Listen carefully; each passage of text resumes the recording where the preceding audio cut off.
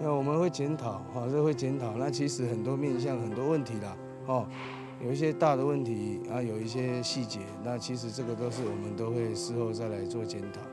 那我想，呃，不怪别人，我们只怪自己，哈。感谢你，感谢你，感谢咱勇气时代。这里高早的时间，咱的声音有较大声，甲恁叫了着，咱赶快哦，咱下面一个标伫遮，甲咱的勇气时代。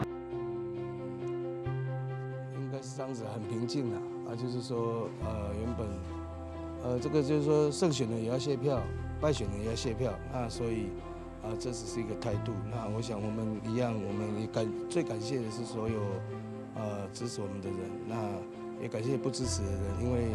呃，我们要呃深刻的检讨，那了解呃原因，那再调整自己的脚步。呃，应该是不会有很大的变化，就是说很平淡啦。因为呃这个选举是一时的，那服务才是呃这个呃持久的。那我们基本上也不会说因为这样子就就呃没有服务或者怎么样，因为。还是一样，每天都有新的开始。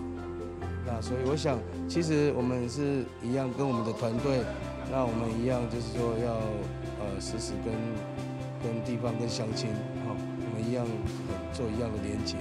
那也感谢所有的支持者，所有的乡亲你们的关心。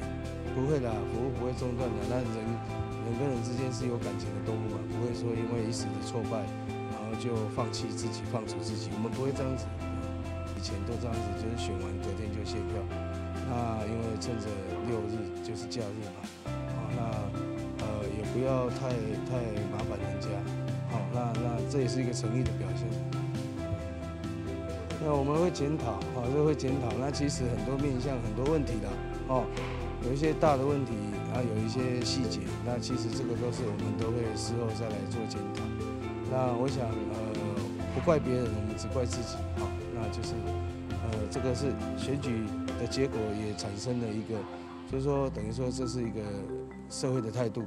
那我们既然这样子的话，呃，只是说自己会比较自己的哈，我自对于我个人的哈，就是说我个人去就是说这次的选举，那啊有这样子的一个结果，那我当然我会有一些。会有一些地方需要我能如何再加强，或者说我哪里做的不好，哪里做的不够，哈，这些东西我们都会、都会、都会、都会、都会、都会再做检讨。那检讨之后，那再来改进，啊，那再来提升自己。